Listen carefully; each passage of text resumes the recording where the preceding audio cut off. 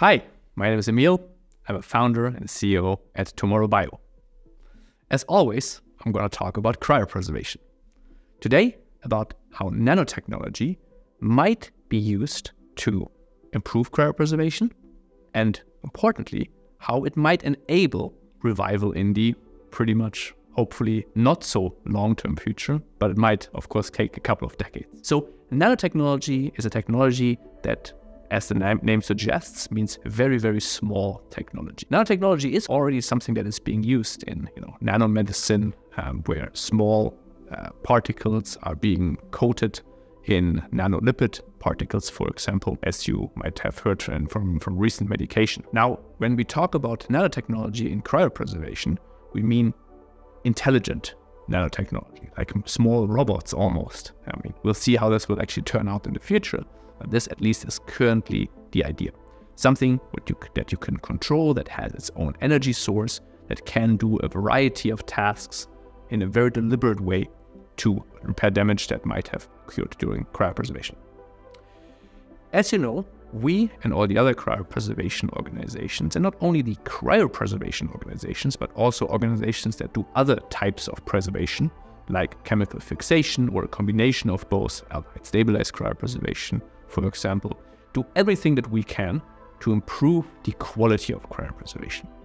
That means that there's no ice formation during the cooldown procedure or at some point in the future during the warming up procedure, that the ultrastructure, so the inner you know, structure of the cell, is well preserved, and so on and so on. Basically, so that everything stays as it's supposed to be, but in a preserved way, where then, even if you wait 100 years, 150 years, however long it might take, that nothing changes during that time. Even though there is some amount of damage that is being you know, generated mostly during the cooling down procedure in cryopreservation or during the chemical fixation procedure if you talk about um, any type of fixative based preservation. The most um, prominent and most important, maybe, damage type is, of course, ice, ice uh, crystal formation during uh, cryopreservation, or in the case of fixation, chemical fixation, it would be the cross-linking of, of proteins. So in the cryopreservation case, these ice crystals that have formed will generate some amount of cellular damage, right? membrane, you know, holes in membranes, misfolded proteins due to concentrations changing in the cells, and so on and so on. Basically, stuff that if you would increase temperature, even assuming that there would be no damage, no additional damage, during the increasing of the temperature from cryogenic temperatures to, let's say, 37 degrees Celsius, even if there would be no damage during that procedure, there would still be too much damage to just, you know, revive the body and just, you know, restart the metabolic processes. And of course, as everybody knows, a good amount of damage, at least in the current technology, with current technology, happens during the warm up procedure. So, however you frame it, some amount of repair would be needed. And as it currently stands, for that type of repair, probably relatively advanced nanotechnology would be needed. And not, again, like in quotation marks, stupid nanotechnology, but nanotechnology that can deliberately fix certain problems, for example, sample holes in the cells. I've said it before, there's a very, very extensive book called Cryostasis Revival, written by one of the nanotechnology experts, and we're going to link it again below. The expert is called Robert Freitas. It's a 700 page, relatively deep dive in how exactly nanotechnology would be used to fix certain types of damage and all the different types of damage, in fact, how much it would cost, how much energy would be needed, and so on and so on. And not only how this repair would work in ideal case cryopreservations, but also how it would work in cases where the quality of the cryopreservation based on current standards is pretty low. For example, like straight freezes, where no cryoprotective agent was used, where the body was just cooled down to cryogenic temperatures, and where practically every water is becoming ice, and there would be a lot of ice crystal. That's why it's called straight freeze. So even under these non-ideal circumstances, how would repair work in the future? It starts with tunneling out in quotation marks all the vasculature, right? Basically making an access pathway through the vasculature where all the ice that would be in the vasculature or cryoprotective agent would be tunneled out so that then nanobots, there would be different type of nanobots, would be able to access all that tissue. So once that's possible, and of course, that will take many, many decades probably. Even though nanotechnology has been a topic that has been worked on for many, many decades, we're nowhere near being able to do what we need to do, at least based on our current understanding, to allow revival from cryogenic temperatures and then doing the repair that would allow metabolic activity and life to come back to that well body.